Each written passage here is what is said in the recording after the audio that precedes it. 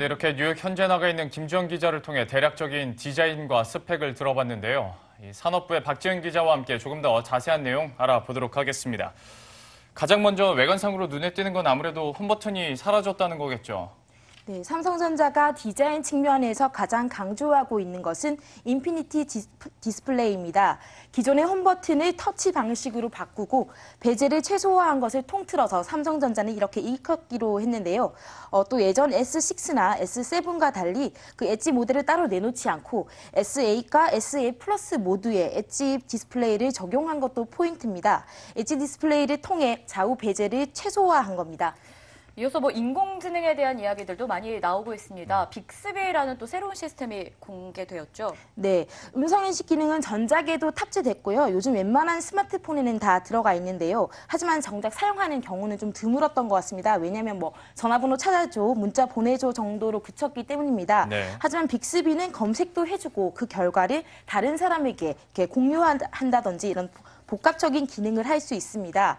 그 특히 삼성전자는 빅스비를 지능형 인터페이스라고 설명했는데요. 그 사, 용을 할수록 빅스, 빅스비가 딥러닝을 통해서 사용자의 알맞는 환경을 어, 제공한다는 뭐 뜻입니다. 예. 어제 언팩 행- 행사에서는 우버 앱을 예로 들었었는데요. 아침 출근을 위해서 택시를 자주 타는 사용자라면 아침에 알아서 빅스비가 관련 앱을 통해 목적지까지 걸리는 시간이라든지 요금이라든지 이런 것을 자, 자동으로 알려주고 택시를 이렇게 불러주는 기능까지 하게 되는 겁니다. 예. 이렇게 대략적으로 설명을 들어도 디자인과 성능에서 많이 진일보한 모습을 볼 수가 있는데요.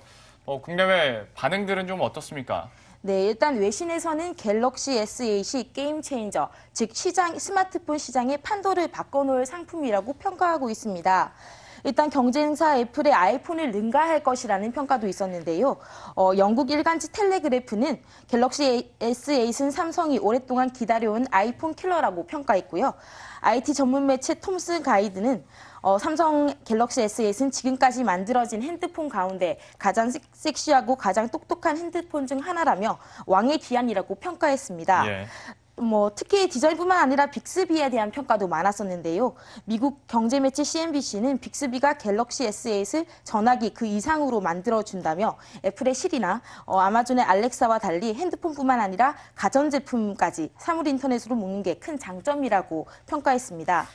네, 외관이라던가 기능 면에서 여러 가지 좀 다양화되고 어떻게 보면 최고의 사양의 스마트폰이다라는 소식들도 전해집니다. 그렇다 보니 사실 가격도 만만치 않을 것으로 보이는데 예상가는 좀 어떻게 나오고 있나요? 네, 일단 삼성전자 측에서는 가격을 공식적으로 밝히진 않았습니다. 하지만 이제 업계에서는 이제 예상되는 가격을 나오고 있는데요. 그 갤럭시 S8 64기가 모델 기준으로 94만 5천 원대로 추정되고 있습니다. 모델이나 저장 공간에 따라 그 가격은 조금 높아질 수 있고요. 예. 어, 근데 스펙 에 비해서 많이 비싼 편은 아니라는 게 지금 시장의 일단 중론입니다.